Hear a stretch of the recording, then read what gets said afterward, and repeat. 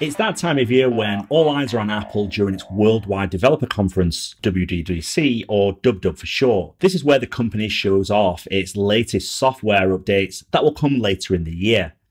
This year for HomeKit, we get several updates to HomeKit Secure Video, Siri added to third party devices, and improvements to tvOS and HomePod. So continue watching this video to find out more about these new features. I'll give you a demo as we move through the video of actually using them and also some features that I've spotted that Apple didn't mention. Now, before we get started, if you're new to this channel and you've not been around before, then there is plenty of other HomeKit videos that might be of interest to you from news, reviews, and tutorials, and you might want to check them out. If you do like what you see, it'd be greatly appreciated if you could subscribe to the channel because we push out new content nearly every single week and you'll be notified when you subscribe and hit the bell button. Also, don't forget to check out our social channels, particularly Twitter, where we're constantly putting out HomeKit information, and also Instagram, where we post behind the scenes information around HomeKit, our content creation, and various other things. Thanks very much. Let's get straight into the video. With the introduction of iCloud Plus, which will bring private relay and private email, HomeKit Secure Video also gets a bump in the number of cameras supported. At present, the minimum iCloud account is the 200 gig plan, which supports one camera, and the 2 terabyte plan, allowing up to 5 cameras with HomeKit Secure Video. However, with iCloud Plus, the 50 gig plan now allows access for one HomeKit Secure Video camera. Then the 200 gig plan gets 5 HomeKit Secure Video cameras, but the 2 terabyte plan offers unlimited HomeKit secure video cameras. The 2 terabit plan update will be a welcome news for lots of users that have got a lot of cameras within their home. And the best thing about this is all the same price as before which is great news. Additionally, HomeKit cameras and video doorbells that support HomeKit Secure Video will also get an upgrade. When Apple introduced HomeKit Secure Video, this feature included the ability to detect people, pets, and vehicles. Now, Apple is introducing parcel detection, which will alert users in the home when a parcel has been detected. And this will be a great feature for those people that have a lot of deliveries and they're not at home and I've tested it out and it works pretty well in the first beta. HomeKit Smart Locks is also getting some love this year with the possibility to add a key within your wallet on iPhone and Apple Watch. This update follows on from the same update for the digital car keys that will make use of the U1 ultra wideband chip. This feature will enable a user to approach a door and when used with a HomeKit enabled smart lock that has got this feature enabled, you simply swipe or tap to open the door. This is something I talked about in a video about Apple could use ultra wideband and how technology can improve HomeKit automations. A variety of manufacturers have signed up to this initiative, including one of my favorites, Aqara. Now moving on to tvOS. Updates to tvOS means you can ask Siri on your HomePod mini to play something on your Apple TV. This will be great for movie nights, with the family, or when you want to access content quickly. Apple TV will also get SharePlay and share with you. So you can easily watch the things that your friends and family have shared with you. Or if you want, you can watch it all together using SharePlay. The Apple TV home screen will also have a new row called For All of You. This row features content that is recommended and appropriate for the entire family.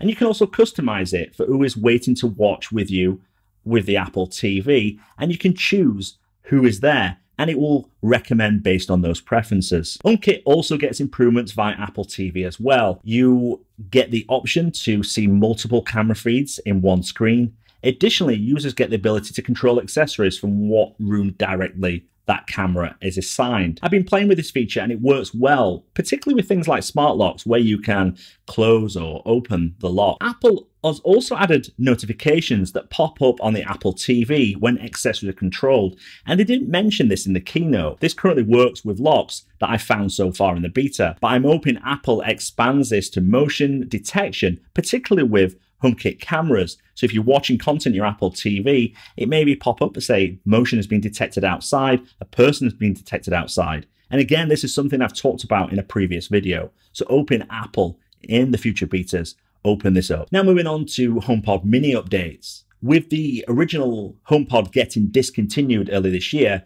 the HomePod Mini gets in on the stereo pairing action with the Apple TV 4K. When you're watching content, your Apple TV, you will now be able to use two HomePod Minis as a stereo pair with the TV. The HomePod Mini will also get support for Lossless Audio, in more countries like Australia, Ireland, and New Zealand later this month, and Italy will also get support, but not until the end of the year. Siri is also moving on to third party devices. Later this year, Apple will open up Siri functionality to select third party manufacturers to build Siri into the device. This will enable devices like the Ecobee 4 thermostat to listen and respond using Siri. This step will open up the possibility to have Siri in more rooms than ever. Although this feature still requires a HomePod mini or original HomePod in the home, as Siri within these devices merely a relay. Apple said that this was to ensure privacy was maintained. Now, Apple Watch and HomeKit also get some improvements. The app on your watch is getting a redesign with additional features, including the ability to control relevant accessories depending on that moment, which does suggest to me that Apple may use U1 in the Apple Watch and HomePod Mini to detect your location.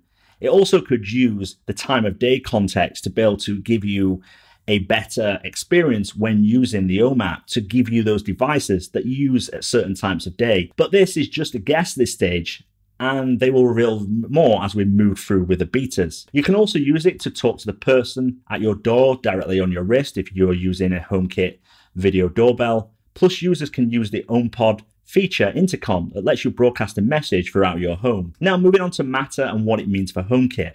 As expected, Matter did get a update although it was quite brief. The Matter connectivity standard, this is a unifying protocol known as Matter, formerly the CHIP project, which will allow both HomeKit and Matter certified devices to be controlled in the Home app. As Apple didn't go into much detail on the key difference between a Matter device and a works with HomeKit device, then it's a case of wait and see how this will impact HomeKit and how it turns out and what benefit a Matter device will bring to HomeKit users over a normal traditional works with HomeKit device. Uh, now, whilst there's no changes in the Home app yet, like things like icons, a redesign of the Home app has not been brought in, but maybe icons and things like that will come later down in the betas. There is a small change I noticed buried in the settings, which is for users there is a residence and a owner label against usernames within the Home app. Now, at the moment in time, you cannot assign a label to a user. HomeKit automatically does that. But this suggests that possibly Apple are looking at allowing some sort of user level control or even guest access to your HomeKit and Home app.